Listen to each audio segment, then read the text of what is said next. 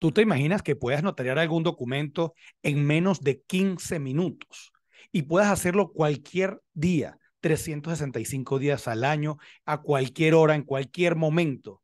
Pues eso ocurre en muchos países. Incluso aquí tenemos, y bien interesante esta noticia que me llegó, de que FedEx, a través de la página de FedEx, la gente puede escanear un documento, simplemente identificarse en menos de 15 minutos. Tú estás conectado con un notario, firmas en su presencia, telepresencia, y te envían el documento, tanto físico o luego digital.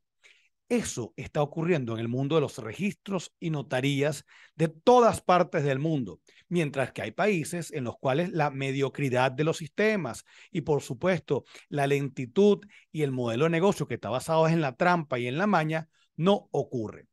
Cuando uno hace actividades sobre transformación digital, sobre pensamiento jurídico y nuevas formas de atender la necesidad de los ciudadanos, estas son las noticias que a uno lo enorgullecen. Lamentándolo mucho, ocurren en otros países. Ponemos el caso, y me llama muchísimo la atención esta noticia también, que resulta que en Colombia ya van a tener un registro civil digital registro civil digital no simplemente agarrar y digitalizar las cosas, sino que se mantengan en formato digital.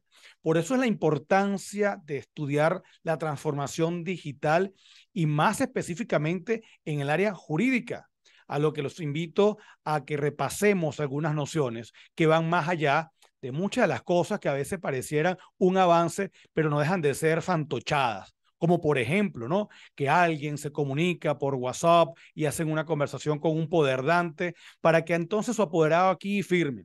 Eso no dejan de ser la negación de la transformación digital, porque si fuese así, perfectamente puede la persona donde se encuentre firmar su documento. Nuevamente, estamos perdiendo la oportunidad de montarnos en el tren de la transformación digital la cual vamos a abordar más adelante con unas noticias sobre registros, notaría, pero también otras funciones en las cuales vamos a tener, digamos que profundizar en la manera que debemos ver estos fenómenos.